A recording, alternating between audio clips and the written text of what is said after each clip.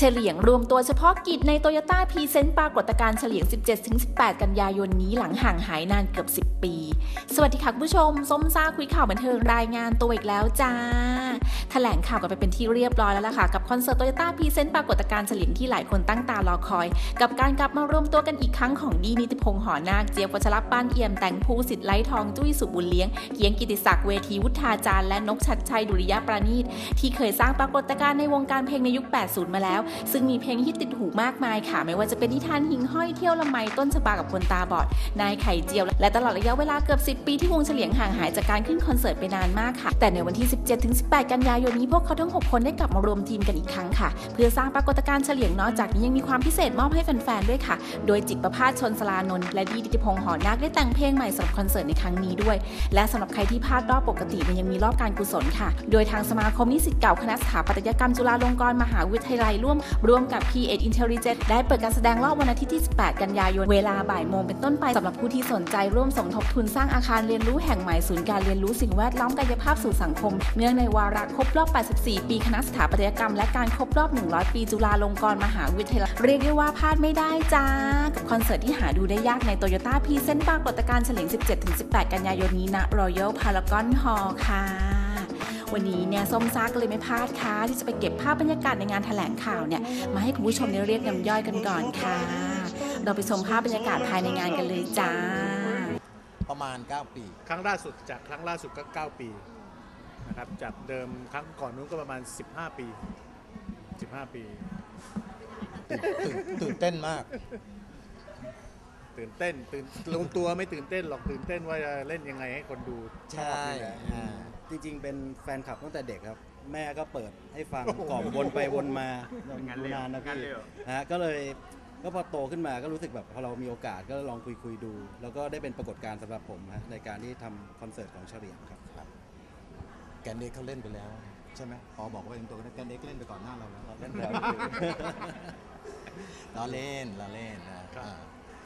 อะ มีเพลงพิเศษนะครับที่อ่าคุณประภาสก็แต่งไว้หนึ่งเพลง คุณนิติพงษ์หอนาคแต่งไว้อีกเพลง เพลงที่ได้ยินแว่วๆเมื่อกี้ก็คุณนกแต่งเอาไว้เพื่อไว้ไว้โปรโมทนะครับ 17 กันยาชื่อเพลงนะครับ ให้ไป search หาได้นะครับ ซึ่งอาจจะไม่เจอจะเจอ 18 กันยาของเสกโลโซแท้ซึ่งคนละเพลงกันไม่ใช่นะครับ อันนั้นก็คุณนกแต่ง 17 กันยาที่แต่งโปรโมทจริง ๆ แล้ว ดนตรีนะลูกๆเป็นคนเล่นอ๋อใช่ามีลูกเจี๊ยบลูกผมลูกชายผมแล้วก็ฮะอุ๊ยอ๋อ เขาจะเซอร์ไพรส์บอกบอกซะหมดเลย 18 กันยายนนะครับวันเกิดคุณภูสิทธิ์17 17 ใช่ไหมครับ คุณอย่าเซอร์ไพรส์ผมร้องไห้บนเวทีจริงๆด้วยนะ แล้วก็ผู้สื่อข่าวครับก็ไม่ต้องเซอร์ไพรส์คุณคุณแต่งนะครับ เพราะว่าเอ่อรับแต่ซองเท่านั้นของขวัญไม่เอา งดของขวัญ ของขวัญ มีมีลูกลูก ไม่รู้ว่าเรียกแขกว่าไม่น่าเรียกแขกเนาะเออมีลูกมีลูกๆมาช่วยเล่นเปิดเปิดตัวลูกๆแล้วกันๆ ใครที่มีลูกก็เอาลูกมา ใครไม่มีลูกก็เอาลูกคนอื่นมา บ้า ให้ลูกคุณปอขึ้นมาด้วยบนเวทีนะ อ๋อ ผมก็เฉยๆครับต้องถามถามผู้จัดคนจัดก็อืม น่าจะดีใจมากกว่า ก็ก็เป็นปรากฏการณ์ครับ ก็ตอนเราคุยกันก็ไม่คาดหวัง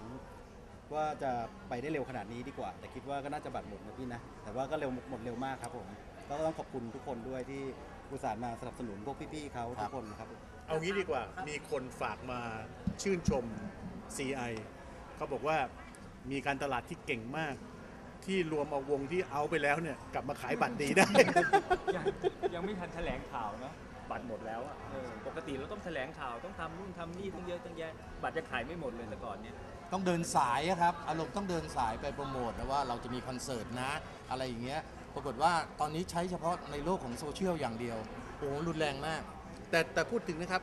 จำนวนที่นั่งที่ที่ขายหมดเนี่ยมันไม่มากเท่าไหร่หรอกครับ ก็จริงๆแล้วก็ประมาณสักหมื่นห้าพันที่นะครับ ถ้าเทียบกับคอนเสิร์ตใหญ่ๆ ที่เขาดูกันประมาณ 3 0 0 0 0 4 0,000 คนเนี่ยก็เทียบไม่ได้หรอกอืม เพียงแต่ว่ามันอาจจะการขายบัตรที่มันเร็วหน่อย ผมเชื่อว่า แฟนๆ ของเฉลียงที่เขารอมาถึง 9 ปี 10 ปีเนี่ยก็จะเป็นคนสำคัญที่แบบว่าพอรู้ข่าวว่าอ่าเฉลียงจะมีคอนเสิร์ตก็เลยรีบมาซื้อ ต้องขอบคุณแฟนๆ ทุกคนนะครับที่ที่ให้ความอะไรนะ ความเอ็นดูผมพูดว่าเอ็นดูนะนั่นไว้วางใจ ไว้ว่า ความไว้วางใจพวกเราอยู่นะครับถึงนับได้ว่าเป็นคอนเสิร์ตที่หาดูได้ยากจริงๆเลยล่ะค่ะคุณผู้ชมนานๆเนี่ยเราจะได้เห็นปรากฏการณ์เฉลี่ยกันสักทีหนึ่งเพราะกว่าพี่ๆเขาจะมารวมตัวกันได้เนี่ยไม่ใช่เรื่องง่ายๆจ้า ยังไงเนี่ย 17-18 กันยายนนี้พลาดไม่ได้ค่ะที่ Royal Paragon Hall จ้า